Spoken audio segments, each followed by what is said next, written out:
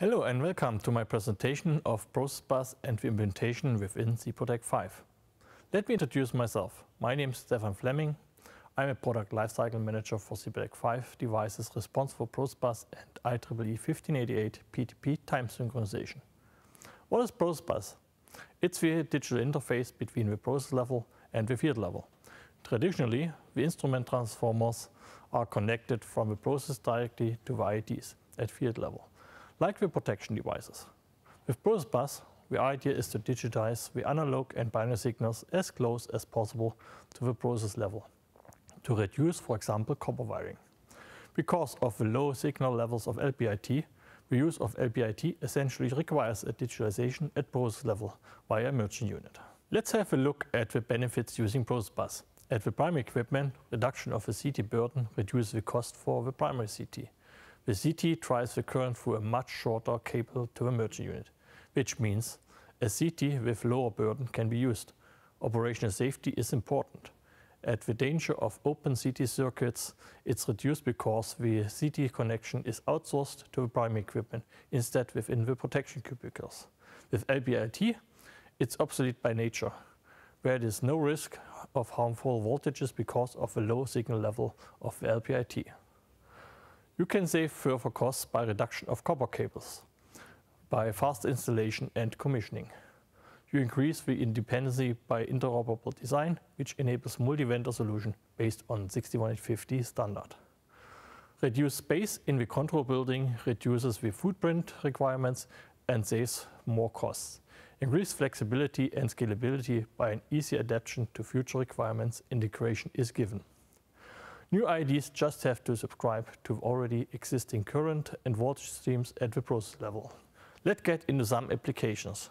Central protection using our 7SS85 distributed busbar protection device, for example. You can protect 10 feeders with, uh, for example, impedance, overcurrent protection or frequency protection, and on top, the busbar differential protection.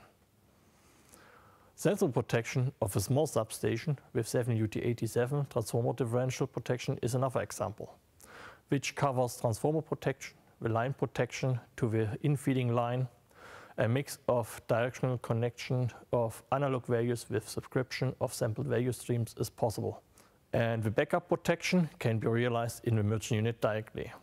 This increases further the reliability. This could be, for example, a simple overcurrent or voltage protection. Let's have a look at a transformer feeder. You can use individually merging units for each primary current transformer or one single merging unit to reduce the number of merging units out in the field. In both cases, the merging unit is U interface to the primary equipment and can act as well as tap changer controller, collect further data from flow sensors, temperature sensors or pressure sensors. The merging unit connects to the Buchholz relay, pressure relief devices, can take care about the automatic voltage regulation, transformer cooling control or switching device control. As already mentioned, the mix of directionally connected analog values and values received through process bus is possible. This includes also line differential applications, where opposite end does not need to be a process bus substation, which means also no time synchronization is required at the opposite end. With the digital twin of SIPROTEC 5, you can individually simulate and test your SIPROTEC 5 process bus clients test protection functions and protection coordination via simulation of the subscribed currents and voltages. Test with SCADA communication and GU signals between SIPROTEC 5 devices. In future, you will be able to simulate the whole SIPROTEC 5 system within the digital twin, including publishing of sampled values by the merging unit and subscription of those streams to the SIPROTEC 5 protection device. Let's have a closer look at the merging unit. As already said, the merging unit provides the interface to your various primary equipment, like switching devices, temperature sensors, tap changers, Buchholz relay, flow sensors, and so on. You can realize user logic for field and bay interlocking, transformer cooling control, apply an automatic voltage regulator, and so on. Up to four Ethernet interfaces, providing you the capability of up to eight streams, two per each Ethernet interface, and each of those interfaces uh, can publish up to 32 analog values per single stream with a flexible allocation of currents and voltages to publish, and all in accordance with IEC 61869-9. The sample synchronization is realized via IEEE 1588 PTP, or for retrofit scenarios, also PPS IRIG-B would be possible. What sampling rates are supported uh, by SIPROTEC 5 process bus? You can have the 6150 9-2 LE uh, streams, which are backwards compatible, as well as the IEC 61869-9 streams uh, with flexible assignment.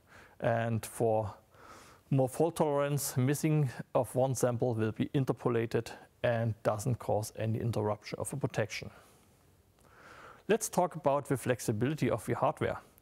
Uh, as you can see, uh, this is the SIPROTEC 5 merging unit, but in different flavors. So you can have a small SIPROTEC 5 merging unit with just a couple of binary inputs and outputs, uh, or you have a full-blown merging unit with a second row serving more CTs and VT inputs, have a temperature connection, and so on. To increase the reliability of such a merger unit, also a redundant power supply is possible uh, to be independent from an outage of one of those sources. Uh, on the mounting side, we have a choice as well. You can go with flush mounted uh, housing or surface mounted housing or go surface mounted and a detached display to mount the display at the front of a cubicle. The flexibility goes also further to the software. So here you have a choice to tailor fit your protection functions within the SIPROTEC 5 client, means the subscriber to Process Bus, and even with backup protection functions on the merging unit side. You simply would drag and drop from the DIGSI 5 software, which is our engineering suite, uh, to the IED to enable those functionality. For such a system, reliability and security is a must.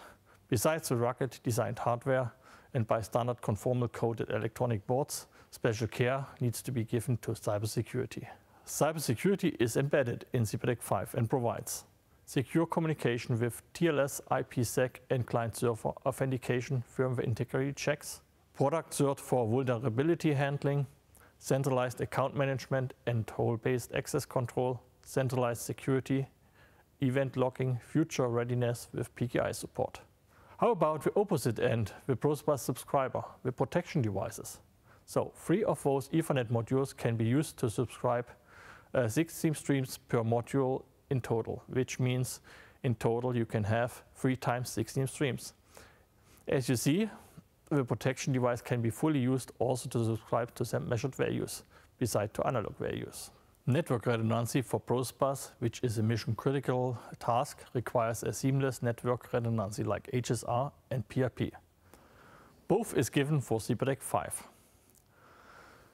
For Process Bus, you have to take care also about the network segregation.